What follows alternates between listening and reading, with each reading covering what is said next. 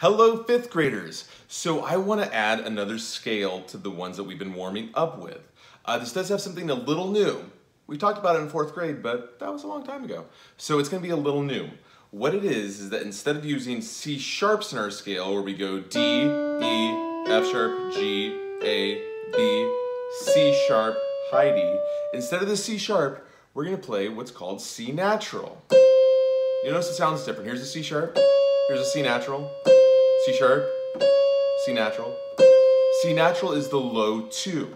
So violins, violas, you're gonna, instead of having your middle finger be on the second tape on the A string, you're gonna slide it back and it's gonna join next to first finger. They're gonna be buddies.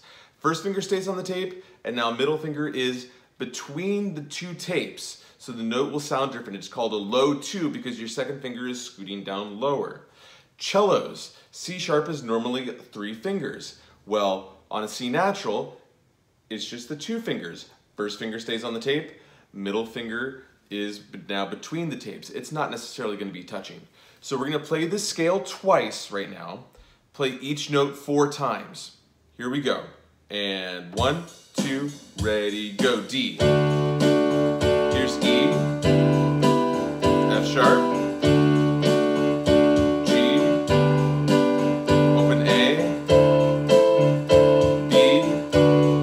low 2 C natural. Here's the high D.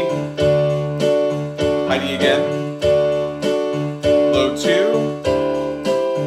B. Here's A.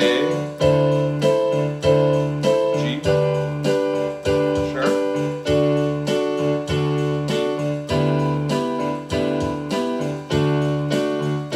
E. Good. Now we're going to play it again but this time I'm not gonna say the names of the notes. They are still four times each, four quarter notes. Okay? Here we go. One, two, ready, go.